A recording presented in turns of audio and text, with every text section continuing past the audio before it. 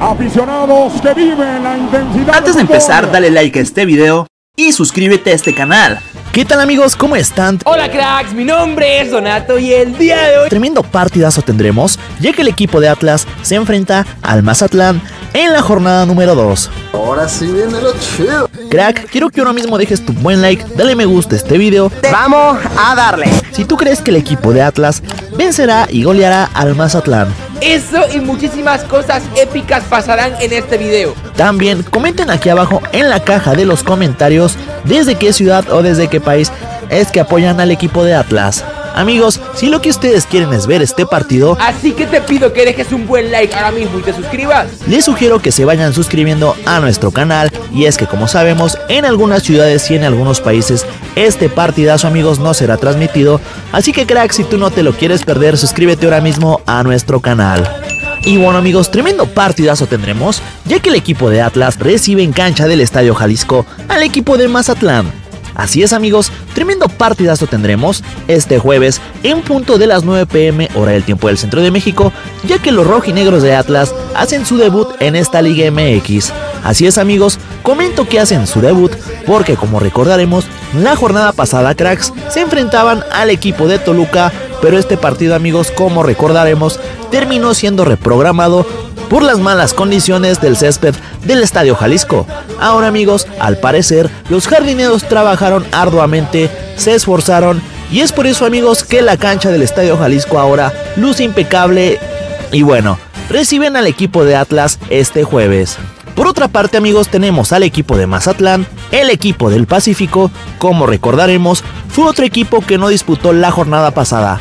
Y es por ello amigos que en esta jornada, al igual que el Atlas, debutan en la Liga MX.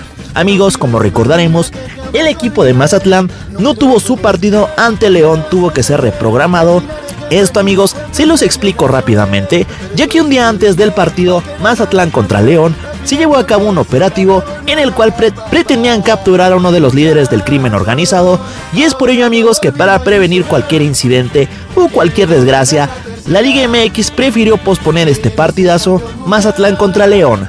Ahora amigos, los cañoneros hacen su debut en cancha del Estadio Jalisco. Personalmente cracks, pienso que el equipo de Atlas buscará sacar los tres puntos y se los llevará. Y bueno cracks, el partido entre Atlas y el equipo de Mazatlán de la jornada número 2 lo podrá seguir totalmente en vivo por la señal de Easy TV, por el canal de aficionados. Amigos, este partido no va por televisión abierta. O bien amigos, si ustedes cuentan con la aplicación de Blim, en la sección de televisión en vivo, en el canal de aficionados, ustedes lo podrán ver gratis y totalmente en vivo. Así es amigos, iniciamos la jornada número 2 con este partido que será por televisión de paga.